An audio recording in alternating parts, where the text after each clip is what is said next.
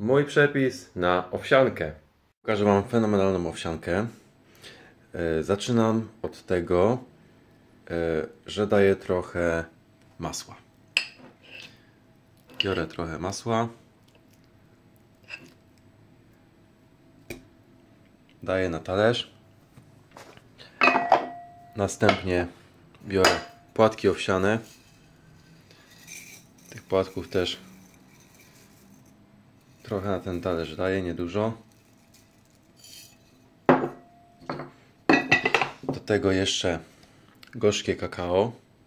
Ja tutaj mam takie pełnotłuste, nieodtłuszczone, dlatego ono się tak trochę skleja, ale za to jest najsmaczniejsze. Smak zawsze w tłuszczu się znajduje. No, lubię mocno czekoladowe, to niech jest więcej tego. No i można do smaku, jeżeli ktoś lubi, nie zawsze daje, cynamon. E, trochę cynamonu do smaku, nie za dużo, bo cynamon ma bardzo intensywny, wyrazisty smak. I to zaleję za chwilę wrzątkiem. Całość zalewam wrzątkiem. Najlepiej tak, żeby to kakao się całe namoczyło. Nie leję tej wody za dużo, trochę. Trochę wody, masełko się rozpuści i nakrywam do napęcznienia. Odczekałem kilka minut. Płatki napęczniały. Widać masełko. Trzeba będzie wymieszać, ale najpierw jeszcze dodatki pozostałe, czyli dwa banany oraz serek wiejski. Najbardziej lubię z krasnego stawu, no ale akurat nie było w sklepie, taki kupiłem jaki był.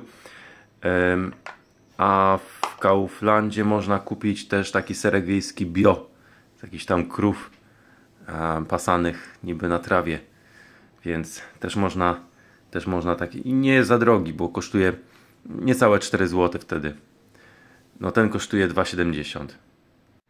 Banana gniotę. Następnie dodam serek wiejski i całość e, trzeba będzie wymieszać. Całość wymieszana wygląda, wygląda tak.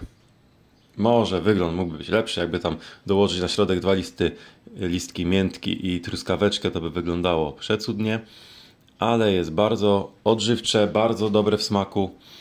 E, zalety takiego posiłku mm, no, dostarcza dość, dość szybko energii, ale nie, nie w ilości gdzieś tam za dużej, bo tego cukru tutaj dużo nie ma. Cukier jest tylko z płatków i z owoców. Mm, natomiast natomiast jest tutaj trochę białka, no bo, bo i płatki owsiane tam jakąś mm, zawartość mają i serek wiejski cały tutaj jest. E, jest trochę tłuszczu, więc ten tłuszcz gdzieś tam powinien uwalniać też energię e, w ciągu dnia. E, mi ten posiłek wystarcza tak na 3, 3 godziny. 3 godziny gdzieś tam jestem, jestem najedzony, a dostarcza dużą ilość takiej szybszej energii. Więc jak wstaję rano, tak na pobudkę, jest to całkiem fajna opcja. No i oczywiście na koniec degustacja. Czasami zamiast banana używam innych owoców, na przykład brzoskwinie daję, ale na co dzień najczęściej jem właśnie z bananem i po prostu dla odmiany czasami przyjdzie mi ochota na inny owoc, wtedy inny owoc jakiś daję. Mm.